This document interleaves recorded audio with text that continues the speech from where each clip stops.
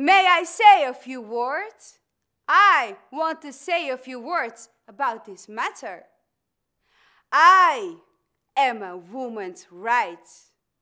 I have as much muscle as any man, and I can do as much work as any man.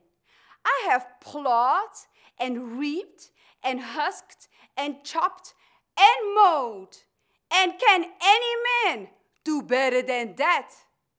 I have heard much about the sexes being equal. I can carry as much as any man, and I can eat as much too if I can get it. I am as strong as any man that is today. As for intellect, all I can say is if a woman have a pint and a man a quart, why can't she have her little pint full? You need not be afraid to give us our rights for fear we will take too much, for we can't take much more than a pint will hold. The poor men seem to be all in confusion, and they don't know what to do. Why, children, if you have woman's rights, give it to her, and you will feel better.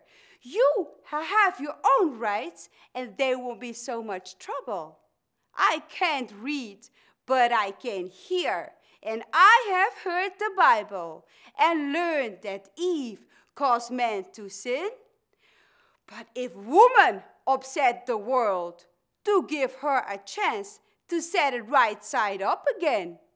The lady has spoken about Jesus, how he never spurned woman from him, and she was right.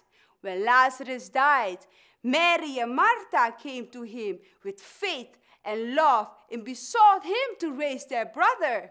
And Jesus wept, and Lazarus came forth. And how came Jesus into the world? Through God who created him, and woman who bore him. Man, where is your part? But women are coming up.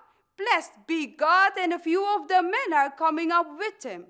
But man is in a tight place. The poor slave is on him, the women are coming on him, and he is surely between a hawk and a buzzard.